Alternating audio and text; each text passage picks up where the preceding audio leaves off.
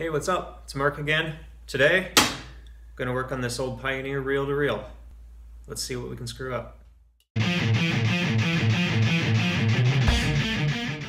Uh, this is actually owned by the same guy that owns the Tascam 388 that I fixed. He brought me the 388, I fixed that. He brought me the 488, and I fixed that. And when he picked that up, he dropped this one off and said, see what you can do. And I said, yeah, no problem, I'll get to that real quick. Well, it's been a few months, probably more than a few months, I think. I don't remember what he told me about this. I'm too embarrassed to call and ask him what was wrong with it, but I'm just gonna figure it out. So here we go.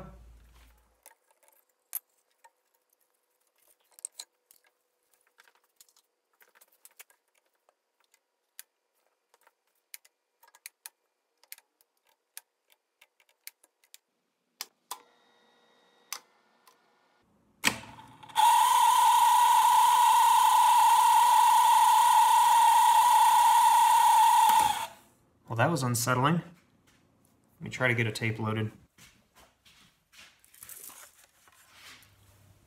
I don't know how this tape's supposed to be loaded. That's how you can tell you got a good repairman. Does he know how to use the equipment? No? Then he obviously knows how to fix it. I better Google that. I'll be right back. Alright, so I was close. I think I got that side right. I just forgot about that. And before somebody says, what kind of idiot doesn't know how to load a tape on the machine he's trying to fix? I guarantee you most repair people have silly questions like that because every piece of gear is a little different and if you're not if you've never worked on a similar one then you're not going to know it's how to use it. Normally people probably edit that out of their videos, but I got nothing to hide. I have a TEAC. This is nothing like a TEAC. Let's see if it works.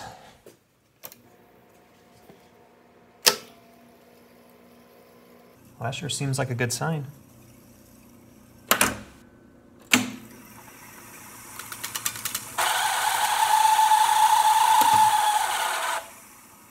That is a terrible sound.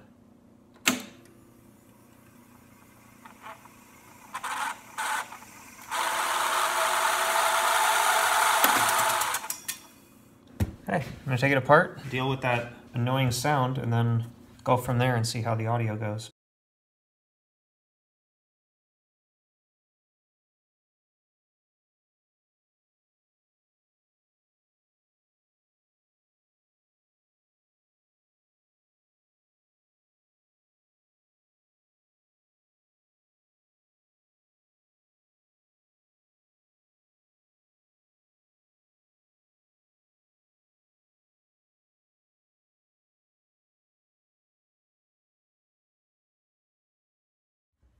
All right, it's apart.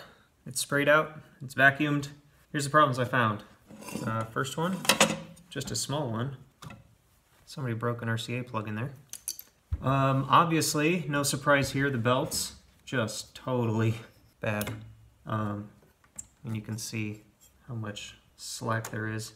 So new belts, gotta get those ordered, being that uh, it's two days till Christmas. Probably not gonna get them till later in the week.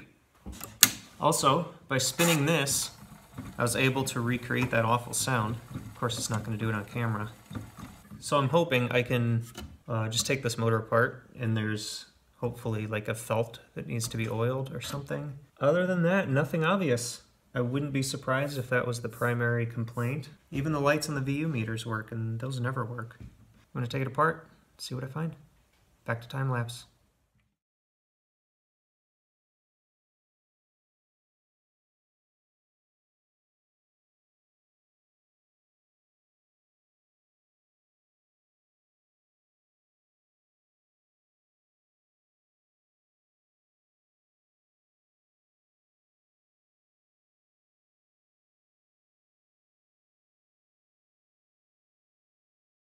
Motor end plate, it actually has not only a bronze bushing, but one that articulates around to compensate for any crookedness. And there is a piece of foam in here that is soaked with oil. So I'm going to try to get this out. It'll probably fall apart on me, so I'll replace it with another piece of foam and re-oil it. Do the same on the back end, do the same on this motor. Okay, so here's the piece that's supposed to hold the oil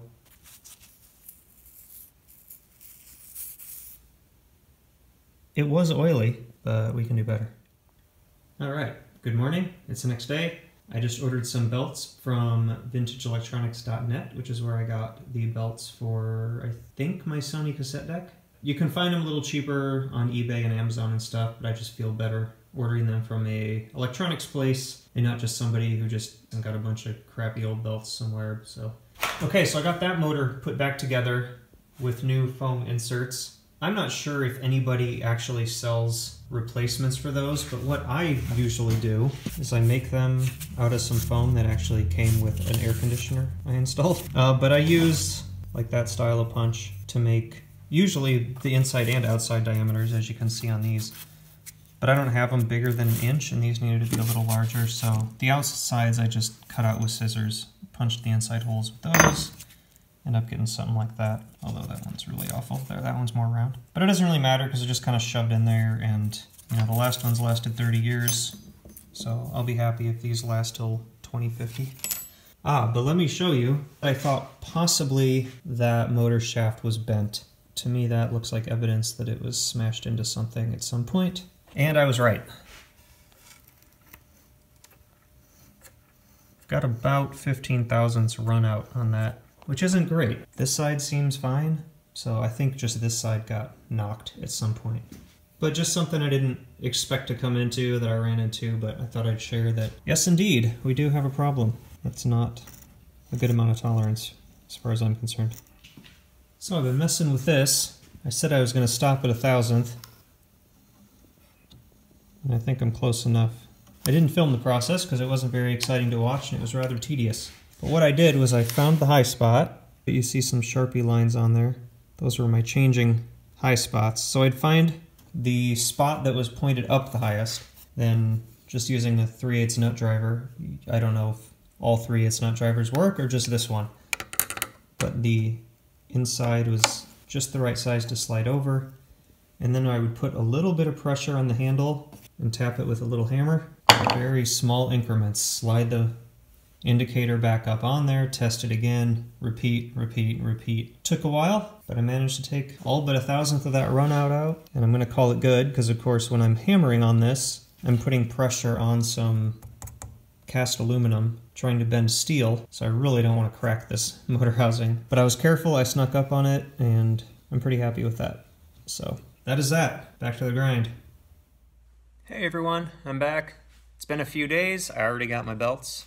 Every time I put up one of these videos, somebody asks, where'd you get the belts? Here's where I got the belts. I'll put a link in the description. And here they are. You can see the difference, new to old. Stretched out quite a bit. Uh, the one for the counter is a little less pronounced, but same thing, it's loose. So I'm gonna put those on. Um, but first, I wanna show you how I get this last motor apart. I've already done that one and that one, just to replace the foam and oil them up. So let's get to it. All right, you, as you saw in the time lapse, when I took this one apart, I ended up pulling the entire motor out. And I had to desolder the solenoid wires because they were too short. And I think I got a better way here. Bear with me as I test it out. Oh, and by the way, for the bottom one, I did this one too. It was one, two, three screws. This whole plate comes off. And then there's four screws on the top, and that takes the motor off. And then there's four screws to take the motor apart a little tricky to get to. There's a couple of these little bendy wire clips that are holding wires that you'll have to get out of the way just to get enough distance and I actually had it sitting on a bucket out here because the wires wouldn't bring it down to the bench. Anyway, that aside,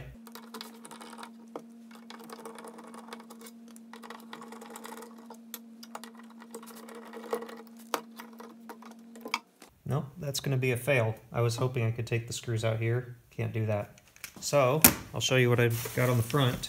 Take off this with the screws around here, and then underneath it is this, which you remove these Allen screws. There's three of them, which is real fun to get in here with an Allen wrench. But then behind that, you'll see we got one, two, three, four screws, and that takes the motor off. So I'm going to do that.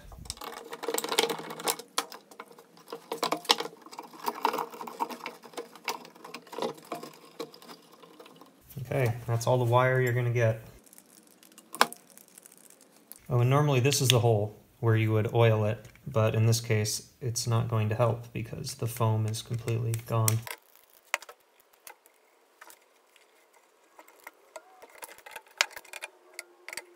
This bottom plate, there we go. Okay, let that hang there. I'm gonna zoom in and work on this one because it's easier to see. Okay, so here's the way I found to get this clip off. Got a socket, this one happens to be three quarter. I'm sure there's a metric size that'll work too. As long as it's just small enough to just fit inside of those tabs. And then I just stick the Allen wrench down that I use to take the pulleys. And then I can just push and twist, and it's off. And all I'm doing there is just pushing all three tabs down at the same time so these little catches can go under and around those tabs. So now you can see the foam, and this is the best one so far. That tells you anything.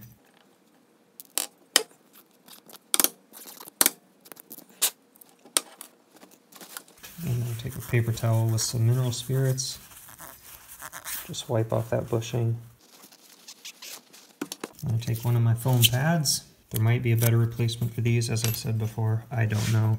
They don't have to look great, because once they're packed in here and stuck down, they look fine.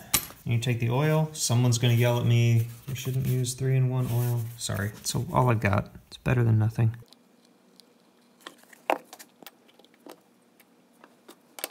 This just goes on the reverse of taking it off.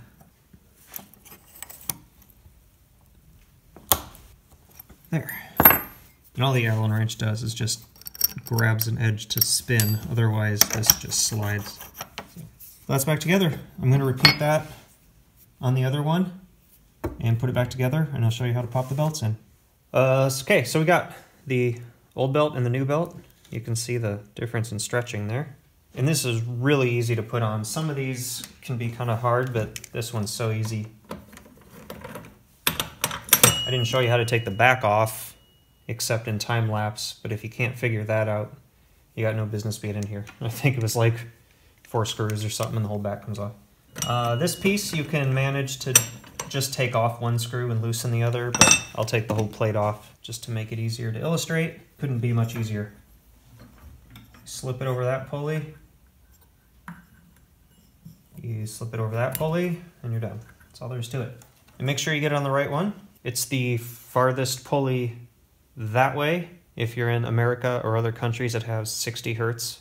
If you got 50 hertz coming into the wall, then if you want to be on the pulley towards the back. If you can't remember that, just remember which pulley you took it off of. As for the counter belt, but you do have to take off that piece with the three screws, and all you do is just slip it through this hole up here, I'm not showing that because I don't want to move the camera back and forth, but there's a nice little cutout for it.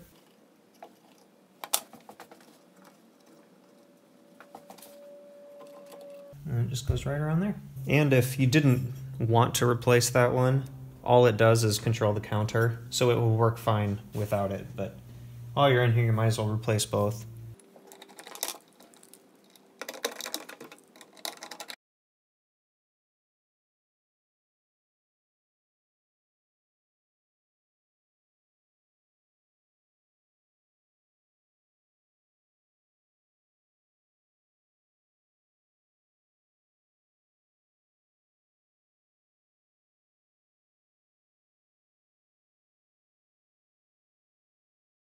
All right, here we go. A couple things that I came across. There should be two more of these plastic feet right here and here. They did not come with this. They're probably long gone. All that's left for hardware is one screw that's totally jacked. If I had something, I'd put in there, but it's metric. This is America. We don't have metric screws. You gotta really try to get metric screws around here. So I don't have anything for that. I'm just gonna leave it, whatever. But let's load it up, see if it works. And again, these three silver screws. This side has two gold ones. Make that one gold one. I do have some M3 screws if I can find the right length.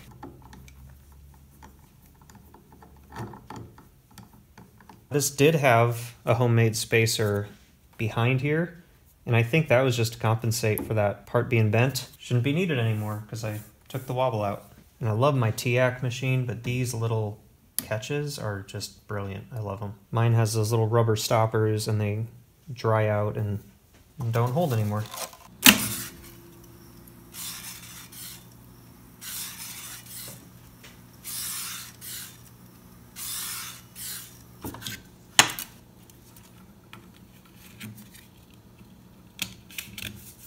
I don't think I need that anymore. Sound you were hearing was the tape on the reel. It wasn't anything I did.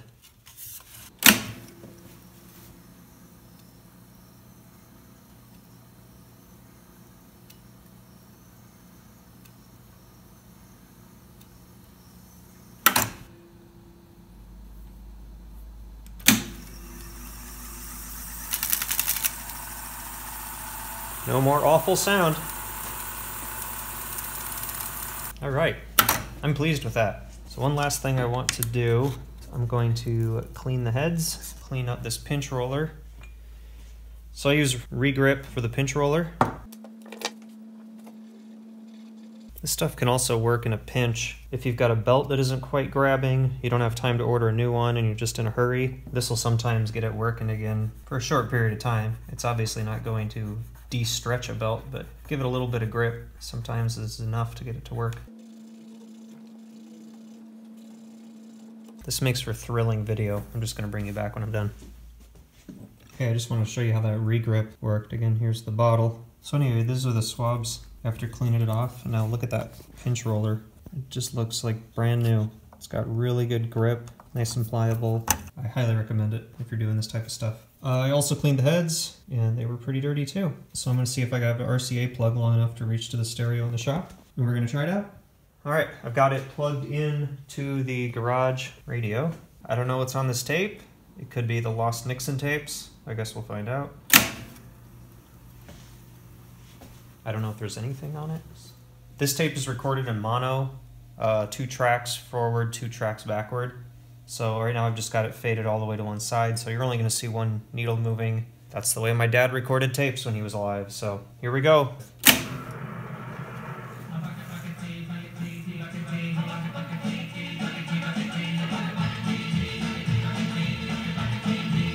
The one thing I notice I want to do, which I will probably just do off camera, um, this needs a little bit of oil I think, because it takes a long time to drop down that should go a lot more quickly because when it's rewinding, that's what tells it to stop rewinding and it just keeps going, going, going. So I'm just gonna add a little oil to that and just kind of loosen that up. I assume it's just been sitting for so long, but. All right, we've got some Roy Orbison in the background now. I guess that's about it for this one. Off camera there, I just oiled up that arm right there. It was real easy, just opened with the back, oiled it. Now it works fine. The one thing I've realized working on this, the last machine I worked on was my TEAC, which was a pretty high-end machine for the time, whereas this was the lowest model entry-level Pioneer. This was not a great new unit, so there are a lot of corners cut. It's a pretty basic machine, all that considered. It's working fine now.